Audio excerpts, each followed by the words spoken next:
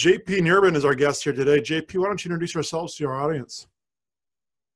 Yes, um, I currently live in Dublin, Ireland. I'm a sports consultant. I work with colleges, high schools, uh, mostly directly with coaches um, all across uh, the US, Canada, Ireland, the UK, largely on culture development, developing a culture that really at the bottom line is transformational. It's changing lives and built on really strong relationships and high standards.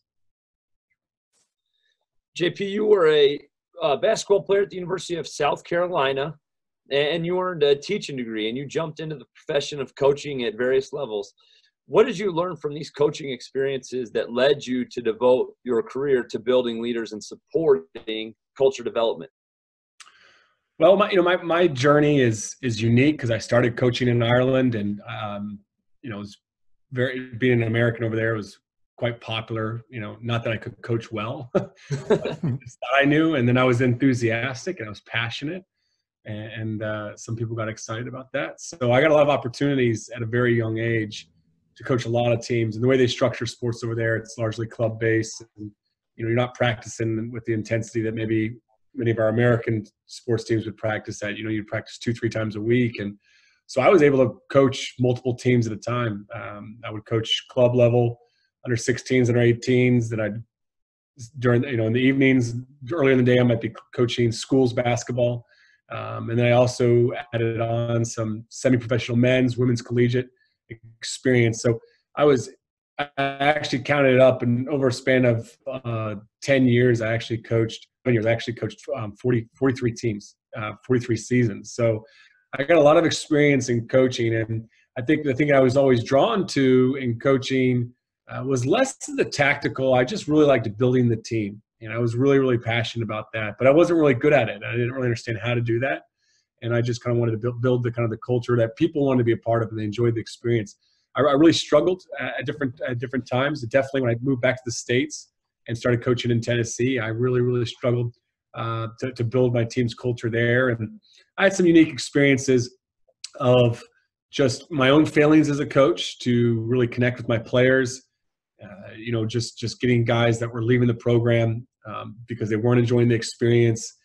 Uh, when I when I felt at those times initially in those moments, I was really trying to do things the right way. I was holding guys to high standards, and and I really kind of blamed the culture at the time, the culture that we live in, and uh, and I kind of that was kind of my my my theme for for a little while. And um, there are some other things that happened in our community that really kind of drew, you know, caused me to sit back and reflect on do sports actually really build character? And you know, I came to the conclusion that the sports don't build characters. I want to be more intentional about that, and kind of all all these different things were going on, and, and really it came to this point where I hit rock bottom in coaching, where I was like, I think I'm done. You know, it's something I love for a long time, but I'm not building relationships and I'm not building character.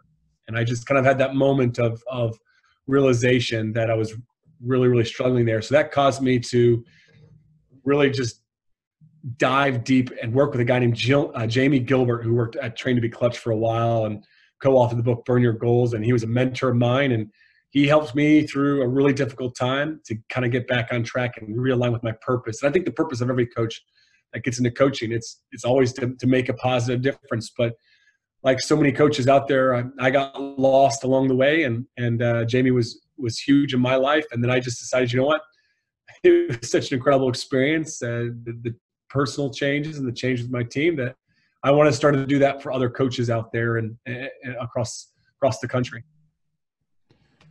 Now, JP, from your past experience, what's been the biggest cultural or leadership development issue that our coaches and players are facing today, and what do you believe is the root cause for it?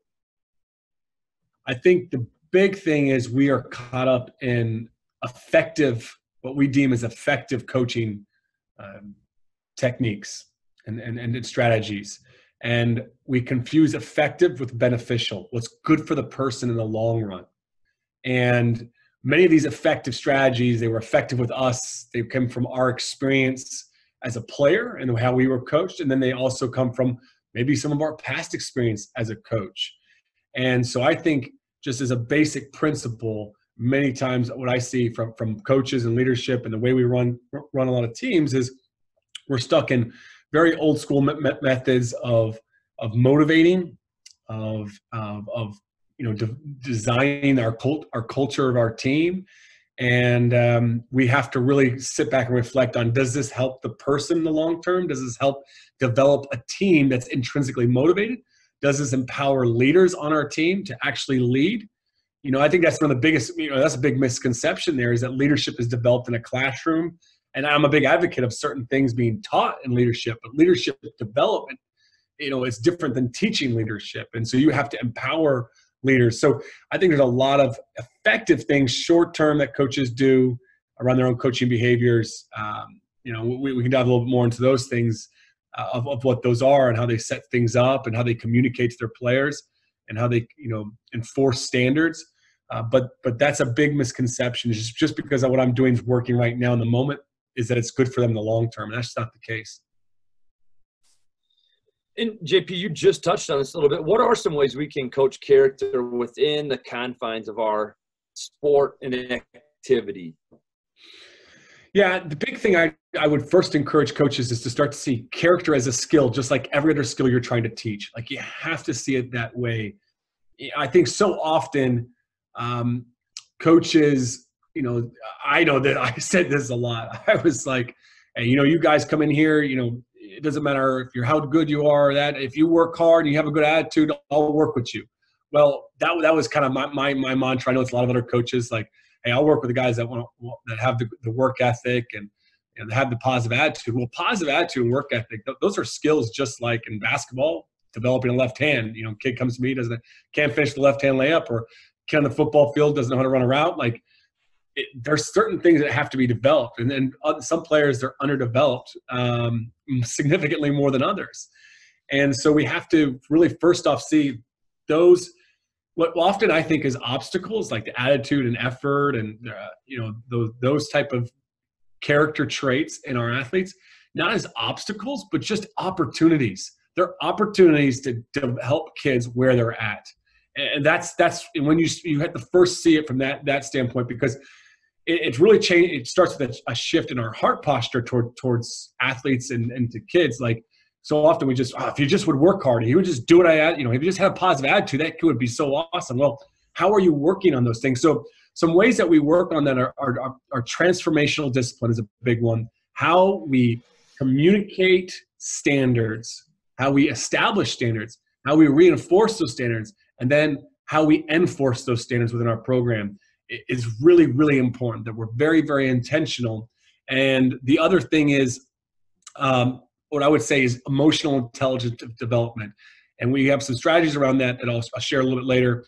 I know you want to get to that, which, you know, around tactical empathy, connecting with our kids before we can actually correct them. You know, so I think so often we try to discipline, we try to fix kids before we've actually um, gotten in there and actually connected with them. So those are some really important principles I would say on when it comes to characters because you know when we talk about emotional intelligence a lot, that is you know the, the, the, brain you know it's it's it's almost just like a muscle in the ways that it's developed you know so if kid if we have a kid that's self really selfish i mean this is fascinating stuff if it, there's a part in the brain called the temporoparietal junction and this is often what, what scientists would call the, the empathy center.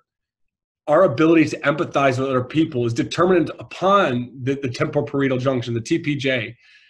If it's not active, it's not being repeated in use throughout life, it's not going to be developed.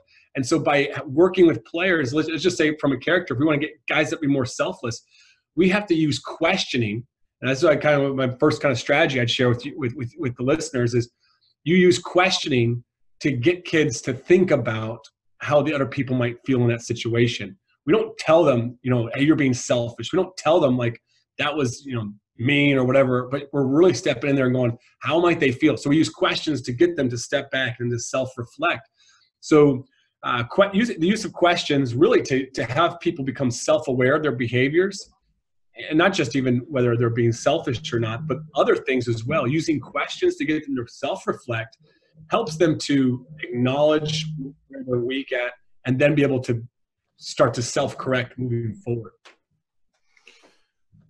Now, JP, you know, oftentimes coaches may feel like you know they're struggling to constantly motivate their players and get them to the desired level of attention and commitment that is needed to reach their goals. So, what are some of the common mistakes we are making as coaches when attempting to motivate our players? Well, this kind of comes back to the you know your your character thing, and in some ways because, and also what I was saying earlier around effective versus beneficial. We use effective ways to motivate extrinsic motivators punishment rewards characteristics on to to motivate our individuals instead of actually focusing on the environment and the culture. And that's really really uh, um, important that we actually just focus on are we developing an environment that supports and nurtures intrinsic motivation where they're motivated from within?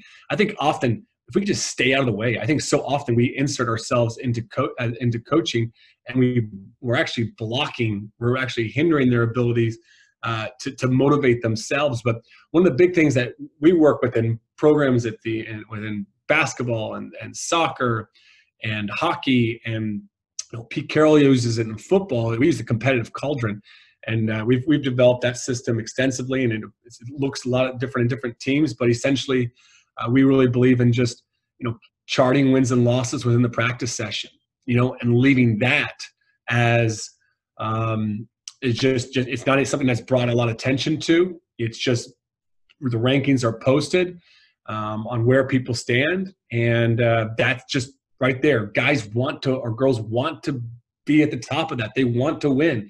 They want to be up there, and just posting that just as a simple way of creating that that intrinsically motivated environment. The other thing is, you know, we'll talk about some of this a little later too, is but it's getting players to set the standards based around the outcomes they want, the experience they want to create for each other and themselves, and who they want to become as a team. And by using the identity of, of who they want to be as a team, getting them to set that out and, and map that out, and then through uh, uh take them through a process of determining the behaviors that match up with that. So here they've set their their vision of who they want to be. They've identified the process that is going to get them there. And then you talk about a, really a support and accountability system where you know how they're going to actually support each other, how they are going to take personal responsibility themselves, and also how they want the coaches to hold them accountable to those things as the last line of defense. But you have the conversation that hey, it's first yourself, then it's your teammates, when accountable. And when those things don't happen, then we have to step in. And, and but you, that process there, there itself is very intrinsically motivating because kids, the athletes, see the vision where they want to go. They're very articulate and they see the process behind that. And you can just come back to, hey, who do you want to be? Who do, what type of experience do we want to have? And you just keep coming back to the process. So it's very little extrinsic type stuff. We're just more guiding them along the journey as they're moving um, moving throughout the season. To kind of touch on a little bit, you talked about the individual accountability and how that can be intrinsic. What if it doesn't ever get there? You know, what if we get to the last line and and there has to be a discipline? Uh, and and di- discipline looks different for everybody, and it can be difficult, um, especially for coaches. Uh, what advice would you give coaches when it comes to developing and administering discipline? You know, why still, I would say, you know, providing that environment where it is intrinsic and player led and team led, uh, and the culture is still intact. Yeah, th- and this I'm I'm really glad this question came because this is important because this ties back to the character thing. And honestly, I didn't get nearly specific enough, and I'm excited to share very specifically what this looks like. Okay, because the character stuff development and the and the motivation is very much tied to transformational discipline and how we do this okay there is this establishment of standards of how we do things in our programs i advocate and how you create those standards or how you create it's not rules it's standards how you create those looks different for everybody but i advocate three non-negotiables as a coach for instance my non-negotiables as a coach are very very specific very clear behaviors that are observable which are be on time listen and don't complain, right? Those are so clear. They're not work hard, have a good like that's way too broad. They're very very specific and they're necessary for me to maintain an environment where I can move the culture forward, where I can move the team forward. If guys aren't showing up in time, they're not listening and we got complaining, those three things just will kill the environment that I try to create in a, in a, in a practice session or a team meeting. So I have to have those in place. Everything else, I would leave to my players. I would call them in. We have we do this with various teams in various ways, but like I said earlier, set the vision. What's the process? What are the standards around that? We really drive towards not generalities of hey, we're going to come in and practice and work hard. Like very specific. Like we're a type of team that shows up 10 minutes early and in that 10 minutes we're putting in the work. Now we don't do a list of 50 different behaviors. We try to get to five behaviors that you know around that five 10 max that are really going to drive the program forward. They're specific to how we practice how we play games how do we meet as a team how we are in the classroom um, how we are in the community. Where we try to get really specific knowing that we're not going to encompass everything. So once we've established standards that are player led and coach led then there's a process of enforcing those standards, like you said, when they're not doing what they should be doing. And this is, is important. We'll, t- we'll touch. I always say there's there's got to be advocacy before accountability. We're talking about advocacy and how we do that in a second. But the accountability piece is, is very important. When you set those standards, you talk about practice is a privilege. Playing the games is an oppor- is, is a privilege. Practice is an opportunity to get better. You have to come back to that as your foundation this is very very important because I'll just give share this experience of my own. Like when I was in when I was in um, sixth grade, I, I, probably got like a C on a test. My mom called up the coach, said, "Coach, sorry, he won't be at the game Friday. He he got a C. You know, we're an A. Our family we get A's and B's. He'll be back to basketball when he gets his grades up." Now, my mom didn't yell, she didn't scream, she didn't beg, she didn't plead. She set that standard up. You get A's and B's when you go to school. If you don't, you don't play sports. And so when I got that seat, she just pulled me right off the team. Well, I had that grade up a week later. Next year, I'm a slow learner. so I'm playing football. First game of the year, I'm awesome. You know, I have four touchdowns. Anyways, bad news comes F in Latin, right? Next week, she calls up the coach. Coach, sorry, he's not going to be your quarterback for some time. And she didn't yell, she didn't beg, she didn't plead with me. She just enforced the standard. And then she actually sat with me every night for like two weeks helping me get those grades back up. So it wasn't just, you know, and it, the accountability without the support. There's the support there. I, I tell that story because it's really, really important. Because what I learned in that moment was not only that my mom meant business, not only was that that standard was going to be enforced, but I learned that basketball and sports were a privilege. I wasn't entitled to them. And the way we discipline can reinforce that. Like we talk about entitlement with athletes constantly. It's just a, that's that's you know, if you ask most coaches what's the problem with, with athletes today, they're going to say entitlement. Well, we've made them entitled because we don't ever enforce consequences. We put them on the line, we make them run, but we still play them on game day. They still get the shoes, they still get the uniform, they still get to get, hop on a plane to go to their AAU or whatever tournament. Like they're still getting all these things. Parents are afraid to enforce these standards with, within their own home. You know, it's just because they need they need that sport because it's one of the opportunities that it's providing for them, you know, and there's just such a misaligned value. So the big thing is establishing guys, if you don't work hard, if you don't do these things, you're going to lose that privilege. So in the practice, if a guy's not working hard, we don't yell, we don't scream, we don't beg, we don't ask. We just remind them, hey man, where's your effort at right now? And most time kids will be honest, they'll be like, eh, not too good. All right, well, that's not where that's not who we're about. That's not what we're about here. So you have to, you're gonna have to pick it up. If you don't, you're gonna sit out. You know, you, you help them to self-correct, but they don't correct. You just say, man, we'll see you in the next drill. They'll see you in the next drill.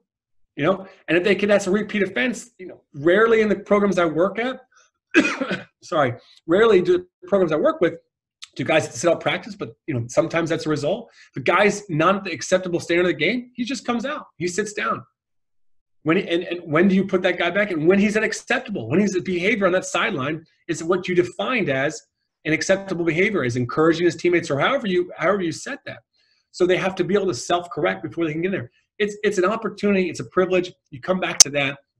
That's not just going to build character. That's not just going to maintain and raise the standards of your program. It's actually going to build an intrinsically motivated environment because they'll start to see every day as an opportunity to get better. But we do the opposite so often. We put them on the line, we run them, and which is supposed to be, you know, conditioning is supposed to be good for them. We, we send all these mixed signals.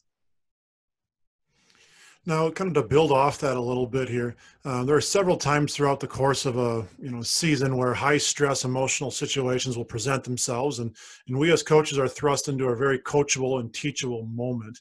Since our athletes and coaches may not always have the best control over their emotions in the moment, what are some of the strategies you have for coaches to guide them through these emotional moments? Yeah, we're really big on this, and I, I could talk for hours on this, but I'll, I'll give you a couple couple simple ones here. Um, one is what we t- call some strategies around tactical empathy, and we've, we've used this from FBI negotiator uh, Chris Voss. Um, he's in his uh, Black Swan group. You know, he does consulting out there in the business world, negotiations, but it's all based in uh, the science around emotional intelligence and the stress response system of the limbic system. And I'm not going to get into the brain science here, but basically, before we can help, before we can correct, before we can correct, we have to connect. If I try to come in and correct a kid for a mistake he made out there or for an attitude, right? Whatever it be, you know, behavioral type of thing, or, you know, just teaching him something. If he's having emotional response, if he's having a stress response, and he's very emotional, right now, I cannot, can I can't teach him because the, the lower the limbic system, which is the lower parts of the brain, it in those emotional responses, it cuts off and it cuts off the communication to the upper parts of the brain, which is the higher cognitive functioning parts of the brain. So we have to connect with them. When we do that, it calms that stress response, and then we can connect to the upper brain. Then we can help them in those moments. So how do we connect? Right? There's a very there's a few simple things. Uh, there a few reactionary ways. Like let's say they're in the emotional moments. A few reactionary ways um, is, is one is kind of the use of questions, open questions, mainly using what and how. You know, you know, what are you seeing out there, or uh, what's going on out there? So just some simple things of of just using questions. And Chris Voss, um, like I said, he, he's he's he's phenomenal at this stuff. If you can pick up "Never Split the Difference," it's a great book with a lot of his strategies in there. But he calls it labeling, and it's just simply it's it seems like you're frustrated because whatever reason it might be. It seems like you're frustrated because you know the, the referee made three really bad calls on you there you know?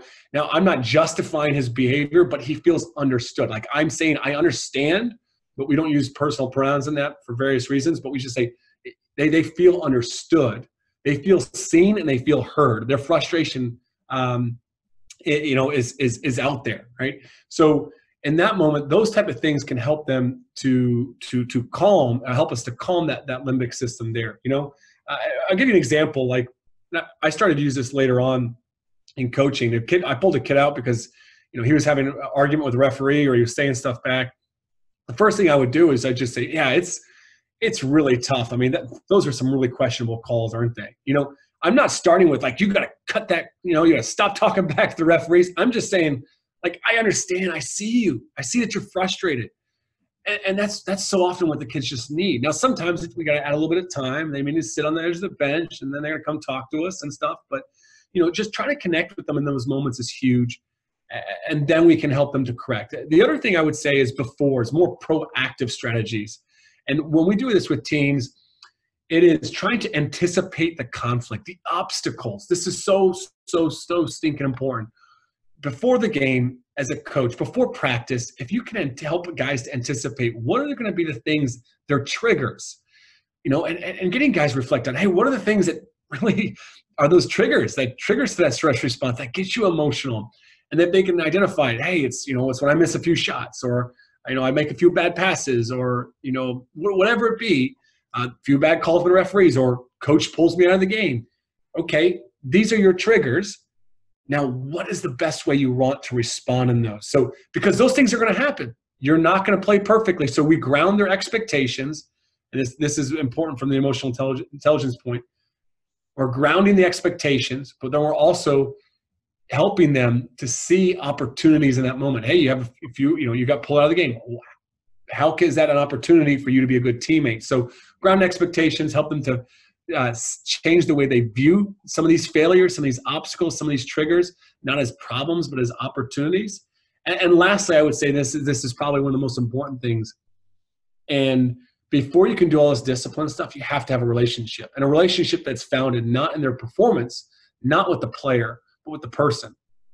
because if they always feel like they have to perform to be worthy of respect or love or care, then they're going to always feel a certain amount of pressure.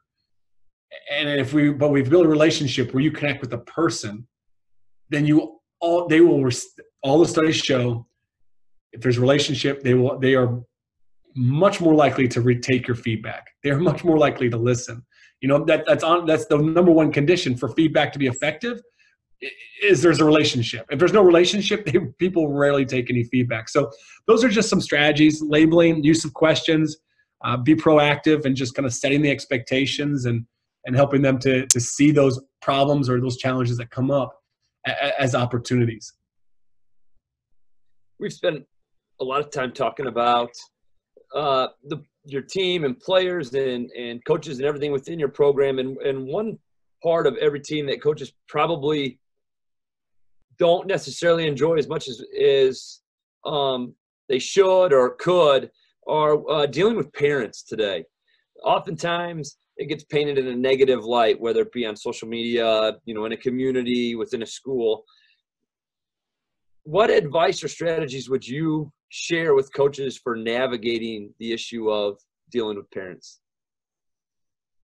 Before you, before I give you any strategies, John, number one, we have to change the way we view the parent, and we have to ch- change the way that we view our role. I really believe the transformational power of coaches. I really do believe in it. But if we all look at the number one influences in our lives, we'll always say our parents. Mm-hmm.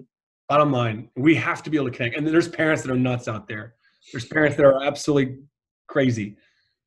But if we really want to help that kid, maybe we through through our interactions we can help move the needle. I mean, we're probably not going to change the, the whole situation, though I've had some co- coaches that have really taken some of those absolutely crazy parents and really moved the needle. And then we've also seen some failures there, but we really encourage coaches to start seeing parents um, as our biggest asset. And really, honestly, that we're an extension of whatever happens at the home. If we want to develop character, we want to empower them. So the first thing is to just, and also just to see them as people, not not as the problem. All right. And it's, it's so easy. It's, and I've, I've been stung so bad. I've had so many bad interactions with parents.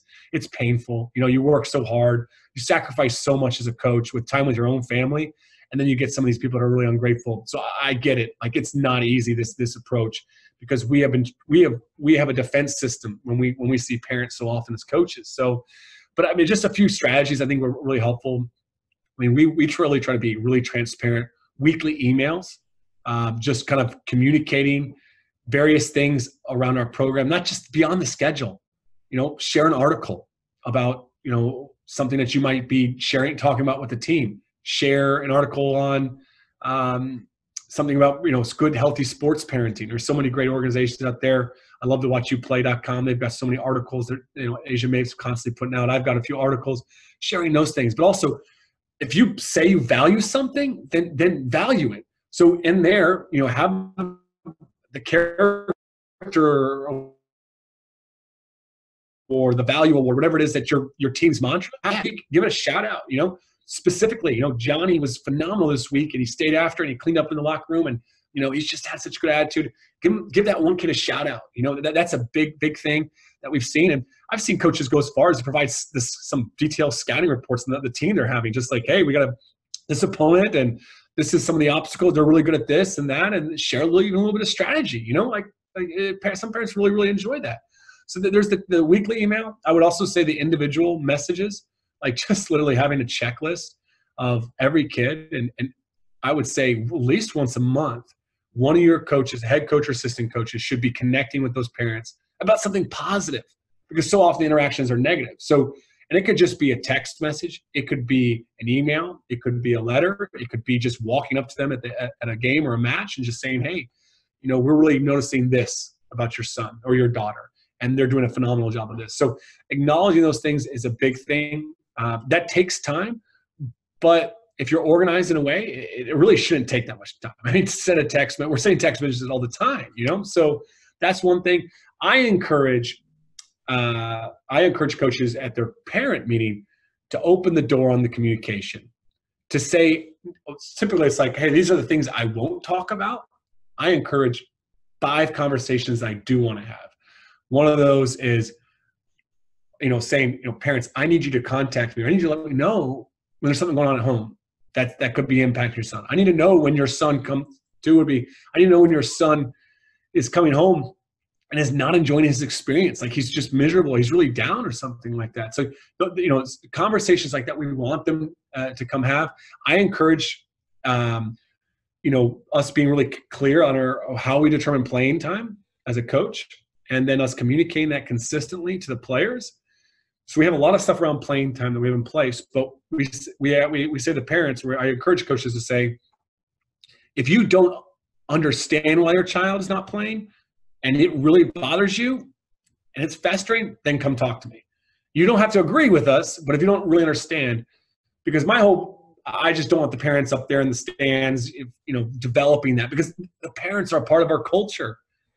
They really are. They're a part of our culture and we've we've got to start seeing that. If we exclude them, we try to exclude them, they're still impacting the culture, what they're saying. So, i uh, just trying to constantly um, meet them where they're at. Another One I, I encourage, you know, the coaches communicate is when your opinion of me as a person has changed. Like, hey, you can think I'm a bad coach, but if I've done something that's been you consider to be demeaning or demoralizing or you know hurtful to your son or daughter, then you come talk to me about it. You know, like I'd want to know that. I don't want that feedback so that I could at least try to help make things right. And I, I, I, say those things because I've screwed up so much. Like I've had moments where I've, as a coach, I've heard a kid, he's gone home and it's festered for a while. And then it comes out later that I said something which I didn't realize it was taken that way. And I'm like, dang if I'd only known, if I'd only known. Now, kind of as we're, you know, wrapping things up here a little bit, JP, if there's one piece of advice that you would give coaches for connecting with players – what would it be? It really, it comes down to the relationships, and to do that, I would have, um, whether I had 10 players or 100 players, I would have a one on one checklist that we would need to be charting how often we're having intentional one on ones. Now, it doesn't need to be like coming to my office, let's sit down, let's have a serious chat, it, but it's making sure that we're having those collisions at least two to two minutes, three minutes, four minutes, five minutes. And sometimes it's more of a sit down one. This is before practice, after practice, on the bus, in the stands. This is in your office, in the classroom, in the hallways, pulling them aside and really engaging and having active listening. Listening where we're fully immersed in that experience with our body language, our tone. We're asking questions that are that are open questions that are probing for more information. Uh, using some of the other stuff around tactical empathy uh, some of those strategies, but just really diving in on those conversations. I think that's so so so important that we're really intentional about that. And so I, I have coaches that have they have a roster, and coaches need to get around to certain guys. Um, you know, you look at the great coaches out there like the the Gregg Popovich, San Antonio Spurs. I mean, it, it, before practice, I mean, what is he seeing doing? He's seen going up there, wrestling with guys, getting in there really close, a lot of physical contact, just just really connecting with them and I think we cannot we cannot do that enough in our programs. So being really, really, really sticking intentional about it, that's my biggest recommendation.